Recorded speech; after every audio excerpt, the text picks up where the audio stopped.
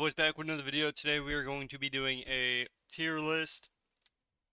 Now, this is going to be mainly just an overall tier list, not really specific down to anything, really. So, this is going to be all around, you know, all together. Solo shuffle, maybe arena as well.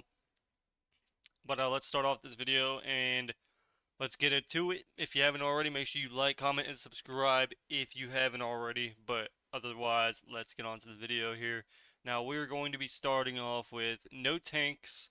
I don't really do tanks anymore. It's not really BFA. Um, I'd say Blood DK is the best tank right now. Um, so if you're looking to play a tank, the only viable choice you would have is to play Blood DK. And I'd honestly say Blood DK is probably B tier. Um, eh, probably not. Eh, yeah, it's A tier. Eh, no. It's good, but at the same time, just play Unholy, bro. Come on now. Unless you're trying to get, like, rank 1 as a tank, I would go with Blood DK.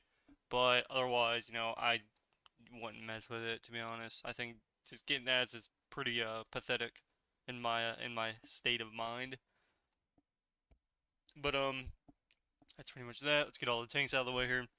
So we're gonna be starting off with what do we want to start off? Warlock. Warlock's been a very insane class lately. I think Warlock is 100% an S tier uh, class. You compare it with an SP, you compare it with an Assassination Rogue. Um, its overall damage is insane.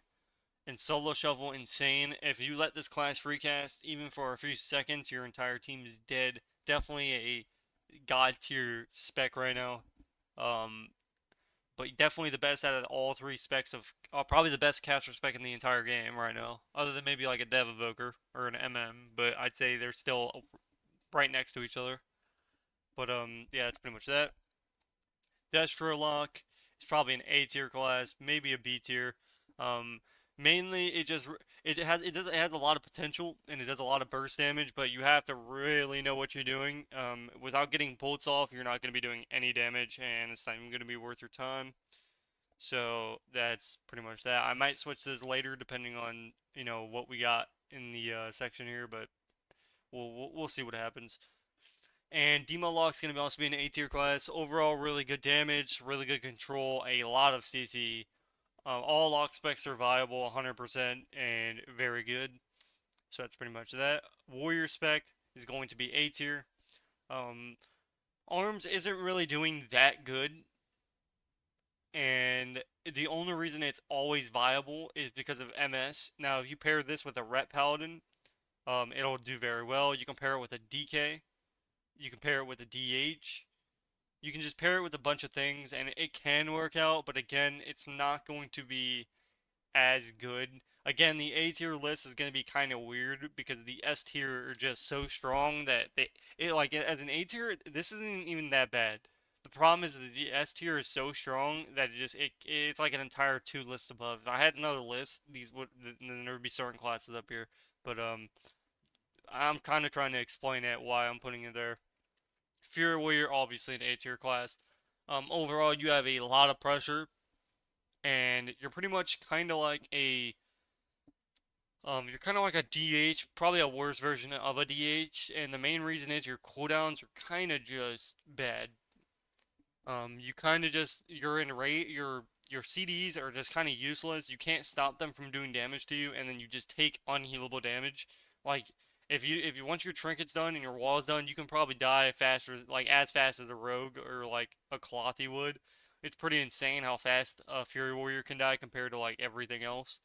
But yeah, that's pretty much that. They would need their wall, honestly. They need a one minute wall. Like that's what they would need to make this viable, or just make them more tankier. But they're just they're too they're kind of like a Feraldur without like with survival instincts. Like that's just not enough. They don't have a bear form. They don't have healing. It's just overall not the very best. I can honestly put this as B tier, honestly. Uh, thing is, Fury Warrior I think is very good. I think the damage on it is insanely good. And but the thing is, I don't think it's really. I'm trying to think here. Um, I'm gonna put it as A tier for now. I might put it at B tier. I just think the only issue with this class is it dies. Like it really does die, and that's the problem with this class. That's a weird. You you you need to be tanky, um, but uh, yeah, that's that's the opposite. So that's pretty much that. Feral Druid, It's going to be an A tier spec, maybe a B tier. Actually, what we're going to do is we'll do this. So, Feraldur's insanely good. Actually, eh, the thing is, I like Feraldur. Like, I've seen Feraldur with a mage, and it's insane. Like, Feraldur and mage, Feraldur SP, Feraldur Destrolock, all can be very nice. Feraldur is pretty good until you put it up against a solo shuffle lobby. You just have to know how to play it. It's kind of like Sub Rogue. But it has burst damage. It has a lot of burst damage. It's kind of like a Sub Rogue that does damage. And it has like a lot of a lot more like consistency with its CC. Like after Sap and Blind on a Rogue, you're pretty much just kinning for off CC. But as a Feral Druid, you have stun, stun, you know, you can clone targets, you can clone the main target when they pop a defensive, or, you know, there's just a lot of things that you can do as a Feral, which is, it makes it viable. Um, but yeah, that's pretty much that. These might be switched, who knows, we'll see. Boomy is going to be an A tier class. Um, overall, it's pretty good, has good damage. Obviously, it has CC. The one problem with Feral, or with Boomy, is the same thing with all these classes mainly, or at least with these four. Um, they just die. Like as a boomy right now, you literally come out of bear form and you're almost dead in two globals. You by the time you get precog, you're already dead. Like I play my boomy, I've come out of form to try to do some damage, and by the time I pop my burst, I'm literally dead before I can even get my rotation off. So boomy is just it, again, it's just there's too much damage going out to where it's like my healer literally I, I, I have to just bear form and run. Like I, I can't just tank damage and every, and that's pretty much the entire game where I'm just getting trained. So, uh, pretty uh, mid. Frost DK is actually going to be a B tier class. Uh, relies way too much on burst damage. Again, classes that rely a lot on burst damage are going to be really bad this season. So, like Sub Rogue, um, Enhancement Shaman, stuff like that. Windwalker. I mean, I think Windwalker is actually pretty solid, but Stuff like that is going to be a B tier class. So DK has really good burst, and if you play it really well, you can make it work. But overall, Unholy is going to be 10 times better for you, and it's in. Yeah, no. So that's pretty much that. Unholy DK, I think, is honestly. I think he can be an S tier class. I honestly, that's what I'm thinking. Um, DK overall damage is insane. Um, your setups are insane. You can put it with a DH. You can put it with a Windwalker. You can put it with a demo lock. You can put it with pretty much almost anything you like an evoker, an assassination rogue, all like pretty much everything. Almost everything can be put with a DK. And on top of that, they're doing a insane amount of damage. They have an insane amount of pressure. They have a lot of utility for their team, especially since they counter casters a lot of the time. So um, having one of these on your team is going to be crucial to beating casters and overall having really good setups. Almost every comp has a DK in it. Um, so yeah, I'm I'm gonna put it as S tier. It could be an A tier, but I honestly don't. I think it's an S tier class. So that's pretty much it. We're gonna go with Windwalker. Windwalker's gonna be a A tier class. Um, obviously it, it has a insane amount of burst damage, but it really does just die. And after its burst damage, it's just not really good. Um, it relies too much on its burst, and if you just CC the Windwalker on his CDs, he's pretty much just going to be useless the entire rest of the game until he bursts again. And again, classes that rely off a burst that don't have an insane amount of CC are not going to be good. So if it was like Feral Druid and it had a clone, then it would be good. But it just it says not. So um, it's still good, has really insane damage, but I wouldn't say it's an S tier or nothing. So now to the next class here, or well, Mistweaver. Mistweaver is going to be an A tier class. I would put it as S tier, but I don't think it really deserves to be an S tier. I think there's probably going to be a few B tier healers. I think Holy Priest and HPal are going to be a B tier, and then Mistweaver and Rest of eh, maybe Rest of Child might be a B tier too. I think there's only I think there's only a few valuable viable healers right now in the game. I think everything else is just pretty garbage. Actually, eh, yeah, yeah, no. I feel like high rated games right now, or just overall, even the solo shuffle, it's just I've I've literally played these classes and they've just felt terrible. Like they they need a buff insanely bad. I don't know. We'll see where we put these at, but I think Mistweaver's A tier. I don't think it's as good as Presevoke or Resto Druid or Disc Priest, but it's definitely up there. It's definitely like the fourth healer in the list, like in the row. So now we're gonna go with Druid, Resto Druid, S tier class. Now the reason this is going to be the secondary best class in the game for healing is because Presevoker and all Evokers counter Resto Druid. So Um, this would be the best healer class in the game if Prez Evoker wasn't the meta, or if just Evoker in general wasn't the meta. So Resolute, insanely good, insanely amount of CC, insanely amount of healing. Um, when you're in tree form, your wraths are going to hit for about 150 to 200k per pop. So if you just imagine the amount of damage and about 10 casts of wrath, you're getting a, a lot of damage off. A lot. So yeah, it's pretty much Resolute. And that's pretty much that. Now we're going to go with Prez Evoker. Presevoker S tier class. Um, insanely good healing. Obviously, it's going to counter Resolute, and that's pretty much that. Dev Evoker, S tier class. Obviously, I think we all know uh, Dev Evoker is literally just after your burst. It's a one. It's literally you're spamming one button, and you're literally just killing everybody during your CDs, and even off your CDs. You're just doing an insane amount of damage. And then on top of that, with the amount of purges that you're going to be getting, it's just, it's an insane amount of. It just Evoker right now is just insane. And then Aug Evoker is pretty garbage. I'd put it as B tier. Actually, I put it. Yeah, B tier. I think it's Frost DK level of bad. Overall, the damage isn't. I mean, the damage is pretty bad, but it's not as tanky as it was. I just think overall it sucks. I mean, it's meant to be a support class, so it's not really meant to do that much damage. But when you make a class like this, it's just not gonna really. It's kind of like a tank. It's kind of like Prot Paladin and BFA. That's pretty much the way they tried to make this. And then they tried to make it into a Dev Evoker, and then it was too broken, so it was like they just forgot about the class, pretty much.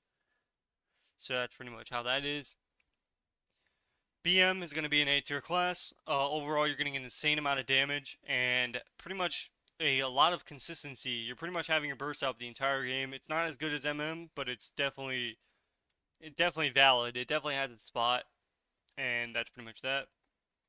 MM Hunter is going to be an S tier class. Overall, your burst that you're getting is an insane amount of burst. 500, 600k aim shots on top of your explosive shots, on top of your CC just an insane amount of damage in an insane amount of time. It's kind of like a sub rogue, except just way better. So that's pretty much that. Survival Hunter is going to be pretty garbage right now, so I'm going to put it as B tier. Um, it just it doesn't really get to see the sunlight much. It's not really good. You might be able to pair it with a DK or make something work out of it. Maybe like something. I just don't think it's worth it. Um, maybe you could do jungle with it, but it's just going to be a worse version of BM or MM, so not really a viable or good spec to play. And that's pretty much that. Enhancement Shaman is going to be pretty garbage right now. Enhancement Shamans is a class that is really only good when it one-shots. That's it. It's kind of like Sub Rogue. When it doesn't one-shot, it's not going to be good. It's just they have a they have a bad way of tuning these classes. When when you base a class around burst, people just get annoyed because when you base class around burst, that class has to do an insane amount of damage. The problem is when, is when that class does damage off of its burst. So let's say like a, a Fury Warrior doesn't deserves to do a, damage 24/7. A a um Boomy deserves to do damage 24/7. A BM deserves to do 20. These are PvE classes. But an Enhancement Shaman and Survival and Frost DK, a lot of these classes are setup classes, and on top of that, they also require a, a, a lot of burst. So they just don't end up doing well in a bracket full of PvE. So that's pretty much, hopefully that explains it enough for you. Ret Paladin. Let's let me think where I want to put Ret here, ladies and gentlemen. I don't, I think Ret is an S tier class, I'm not gonna lie. I think Ret's pretty insane. I think if you play Ret well, it's definitely an S tier class. The CC that you're getting, the burst that you're, you're getting everything you need for your team to win the game. Um, I'm trying to think here. I think it's honestly pretty insane. I honestly do. I think it's really good. Uh, the only time I think Ret is bad is when you pair it with an H Power, and that's just that's just how it goes. Sometimes you, you just get a bad comp and you lose. But I think overall, I think Ret Paladin's pretty good. I think you have everything. You have Sank, you have Sack, one minute Sack. You have literally HoJ every DR, which is perfect CC alignment. You have a lot of burst damage. You're kind of like a Feral Druid, just with a lot more cooldowns obviously versus double caster you're gonna have a trouble but again that's just how the class goes some classes just have struggle versus certain classes but overall i think it's Ret's insane right now but you guys can decide what you guys think about that outlaw or hpal so hpal is a weird spec right now i'm trying to think where i want to put it i don't think Mistweaver deserves being the i feel like these mm, let me think. I'm trying to think here. I'm thinking.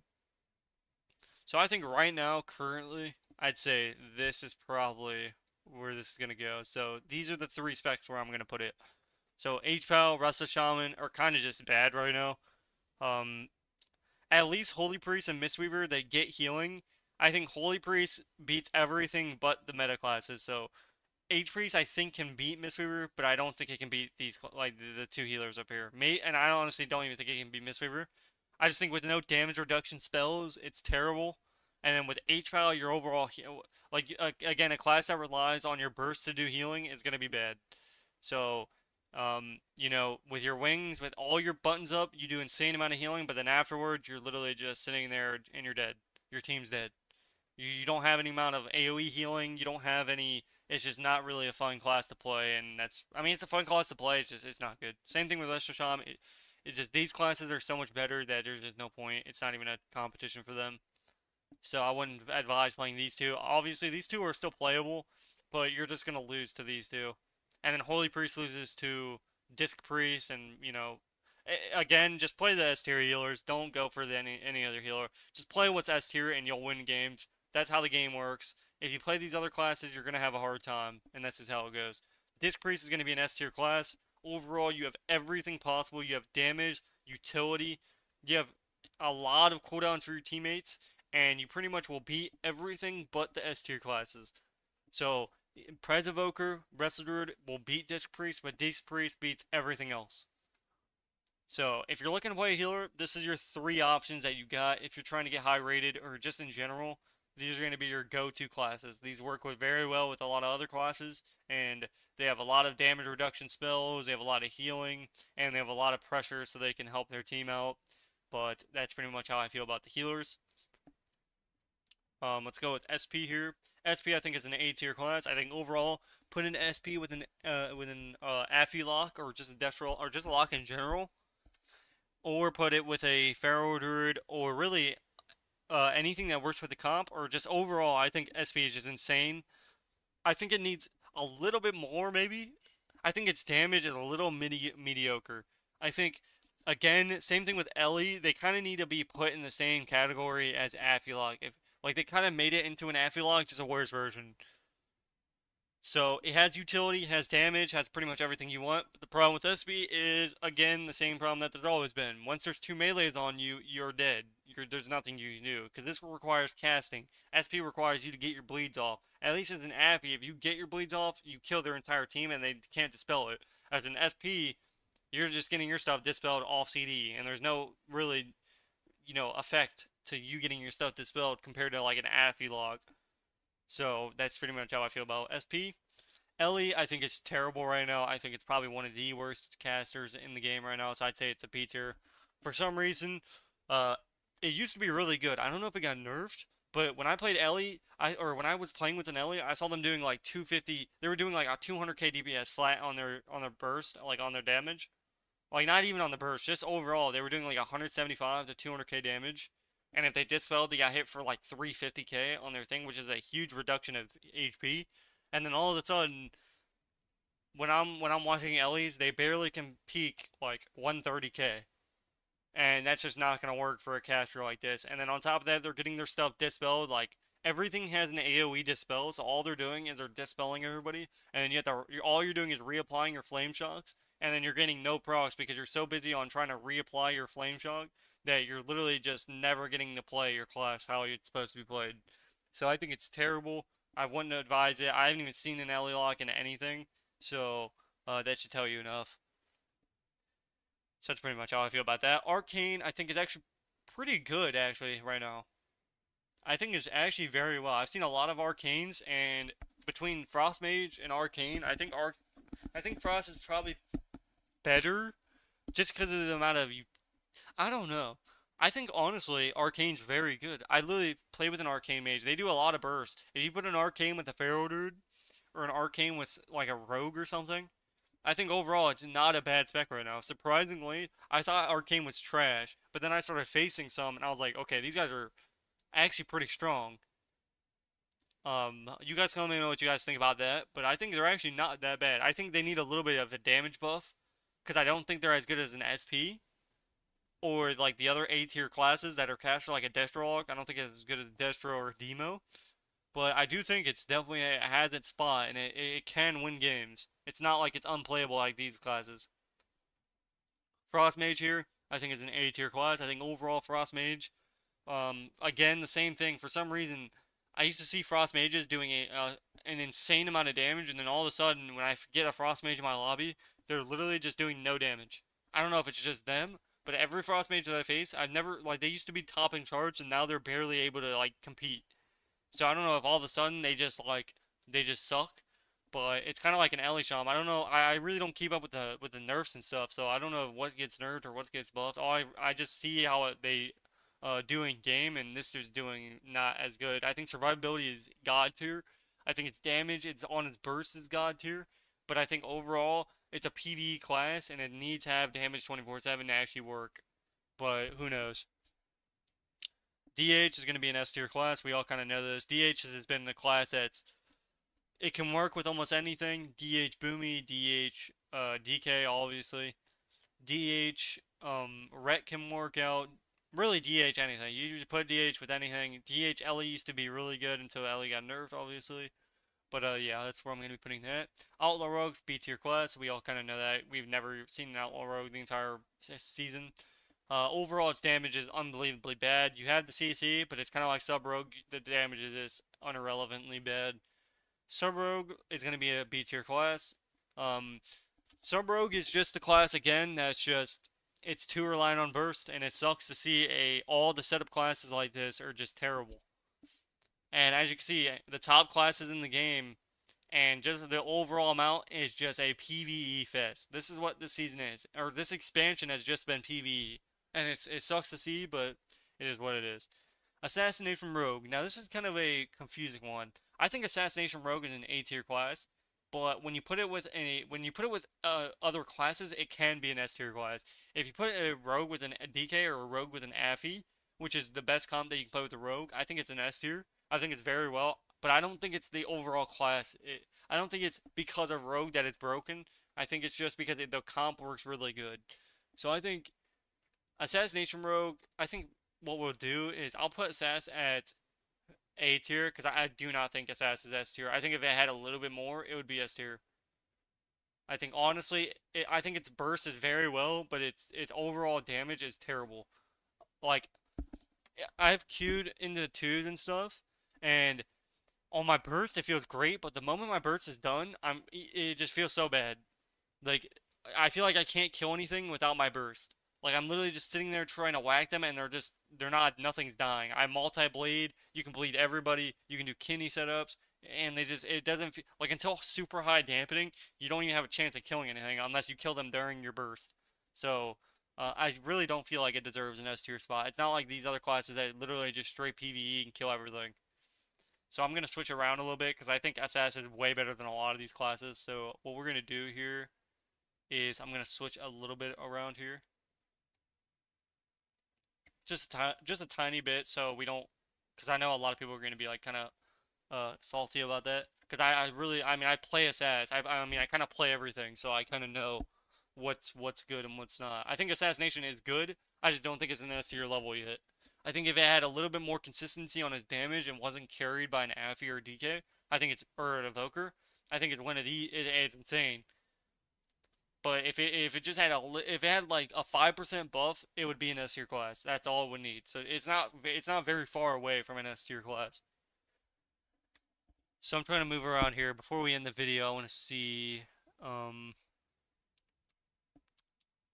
Frost Mage I think is still good though. I don't feel like Frost Mage I think this is what we're gonna... Hmm. I'm trying to think here. Okay, this is how I'm gonna do. I think Arcane is very good, but I don't think it does. I don't think it's an A tier, honestly. I feel like this is how this is like the perfect list that I'm gonna do. I think this is this looks good. This looks better. Because I don't think Arcane can compete with an SP. I don't think Arcane can compete with a Frost Mage. I don't think Arcane can compete with a Boomy or a D. Like, I don't think it can. Like, it needs to be able to compete with the other classes to be in the same tier. And it can't. It, as Arcane, it can compete with all these other classes, though. It just can't compete with these. These are, like, almost the top. These are one. This is like a 5% buff away from being God tier. or like uh, uh like being top dogs. Maybe not Arms Warrior. Maybe Arms Warrior would need like a 10% buff because they're all based around burst. And again, burst classes aren't going to do very well. But I think with just with his MS alone, it's very good. And do I want to put Holy Priest at B tier? I think this might look better. I, I, don't, I honestly think H-Pal and Holy Priest are just terribly badly designed. I think this has no damage reduction, so this is going to get flat out because this can't compete. So that's pretty much how that's going to be. Let me know what you guys think about this video, and I'll uh, see you guys in the next one. Otherwise, Fire Mage is obviously going to be a B tier class. Peace, peace.